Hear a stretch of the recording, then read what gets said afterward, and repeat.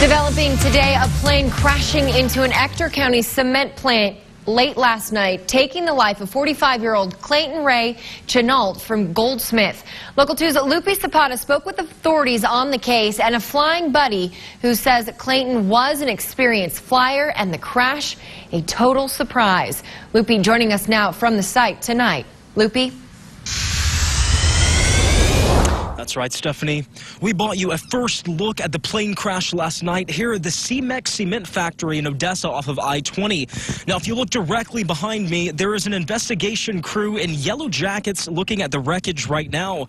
Now, DPS confirms it happened before 10 o'clock last night. I spoke to a friend of Clayton's who saw him last night just hours before the crash.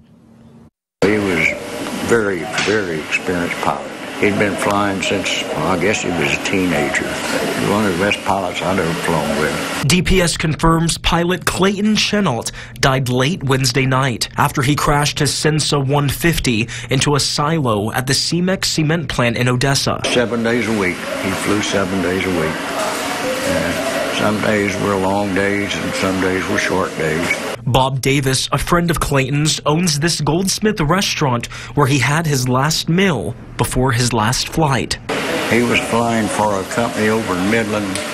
Uh, I don't know exactly what all they were doing, but they was flying between Midland and Houston and back just about every day.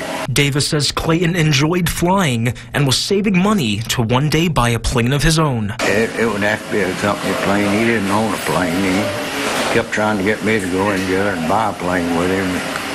We just never could get together on it. So. To honor Clayton, the Goldsmith City Hall lowering their flags to half staff in memoriam of one of their own. I know he flew every day. He loved it, and I'm going to miss him. He was a good friend.